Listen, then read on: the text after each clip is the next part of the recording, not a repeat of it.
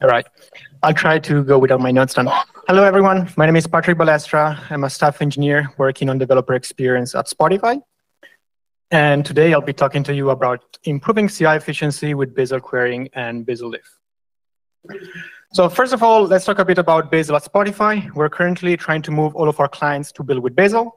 Um, the first clients to be completed are the all of our iOS applications that can now build with Bazel. Uh, soon we should be able to also build all of our Android applications uh, with Bazel. And we also have um, C++ and TypeScript code bases that are shared between some of these applications uh, that we are soon uh, also going to move to, to Bazel. Uh, our goal is to move all of these repositories to a single client monorepo, which could host more than 10 million lines of code, 150,000 tests, run over one and a half million uh, CI builds every month, and receive 8,000 commits a month from uh, various hundreds of engineers.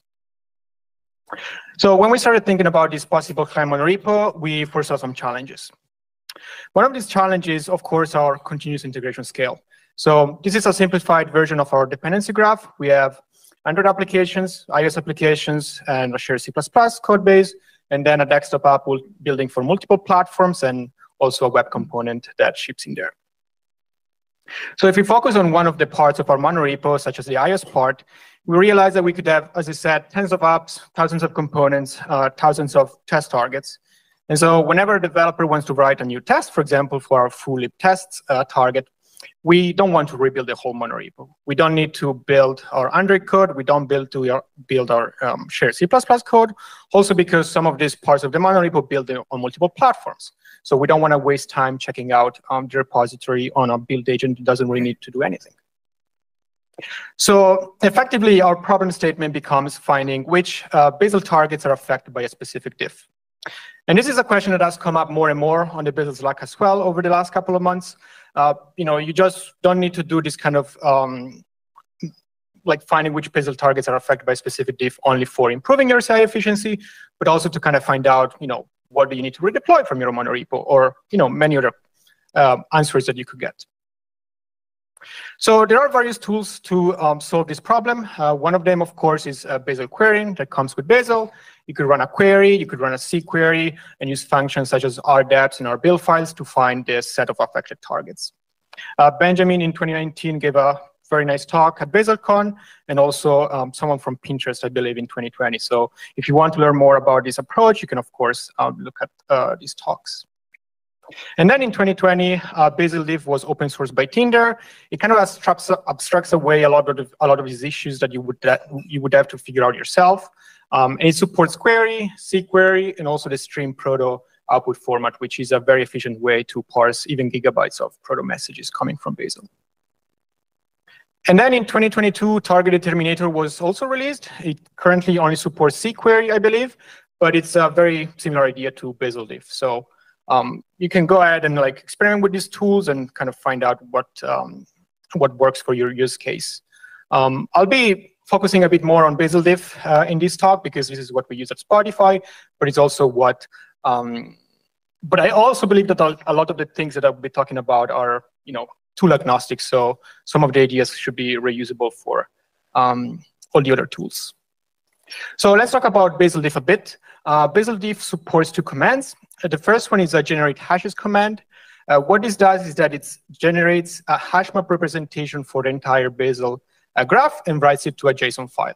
In this case, starting hashes.json. So you can see the list of targets on your um, as, a, as a key, and the value is a SHA-256 that represents all the attributes um, that go into that specific target, inclu including all the inputs. So what we then do is that we change revision. So we check out our different commit, for example. We run the same exact command and uh, output the, the, hash map to a final hashes.json now. Um, and we can start to see that the hash is different for the same target. And so we then run the last command available in Bazel Diff, which is going to get our impacted targets. And so here we have, again, our target full lib tests that change between the two commits.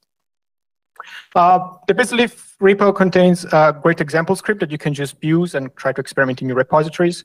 So it should be really fast to see um, some, some example outputs. So now that we understand how we can find the impacted targets between two revisions, we can put this information to use to improve the efficiency of our continuous integration builds. So in this image, we can see that we have um, a simple continuous integration pipeline. So we could have, you know, a task that builds our iOS applications, another task that builds our Android applications in Linux, and then, you know, even more tasks that build and run our tests on different platforms. In our client monorepo, if we were to merge all of our repositories today, uh, today, the list of tasks could be over 100. So we, of course, want to reduce this number to a minimum. So first of all, what we do whenever a developer uh, pushes a change to our repository, we run a diff task. And this runs exactly the same logic that we just uh, specified. So we can then find the impacted target in, uh, in the change submitted by our engineer. So what we then try to do is that we try to introduce a simple YAML file that defines the conditions in which subsets of our pipeline should run.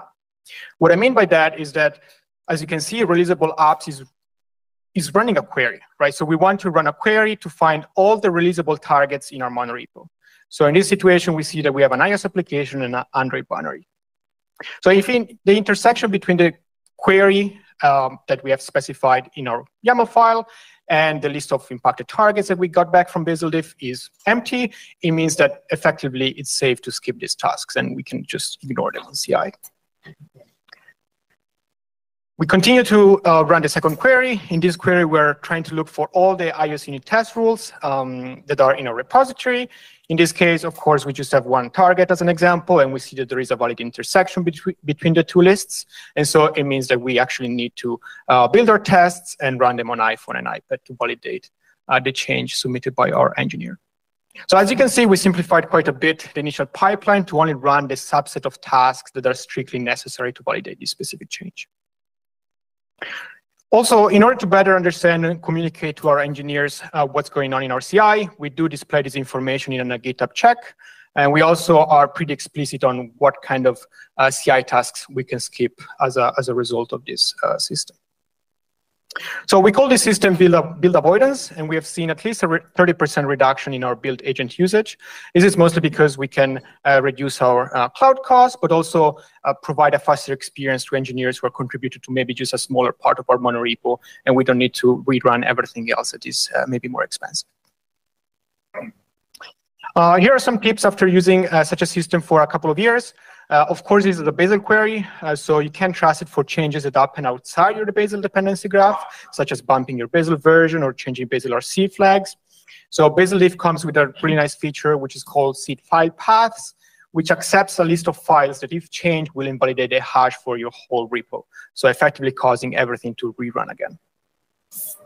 Uh, BazelDiff also has a couple of flags to customize the behavior of your query. Um, so you can kind of like uh, improve the accuracy and performance of the query if you need to do so.